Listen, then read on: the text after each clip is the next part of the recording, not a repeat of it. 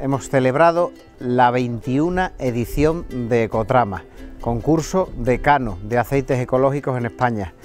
El concurso en el cual estamos valorando, promocionando el aceite ecológico, una acción que va a ser más necesaria que nunca en los próximos años, en los cuales la agricultura ecológica está ante el mayor reto que ha tenido ante sí, la mayor oportunidad, pero a la vez el mayor reto para afianzar su posición.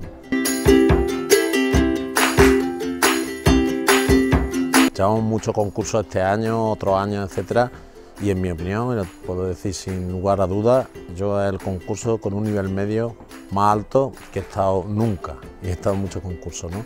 Entonces hay que felicitar a los productores ecológicos porque no solamente están al nivel general de los mejores aceites del mundo, sino yo diría, y en esta edición lo hemos compartido todo el jurado, que están en un nivel superior. Este año ha sido sorprendente y estamos absolutamente encantados porque uno tras otro nos iban saliendo aceites de una categoría excepcional, de tal forma que los grandes oros van a ser numerosos, pero porque realmente se lo han, se lo han ganado con todo merecimiento.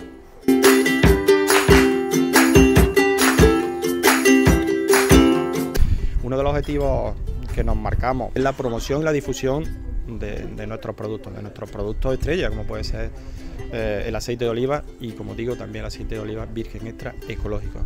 Es el futuro y es el presente de nuestro, de nuestro mundo rural. ¿no?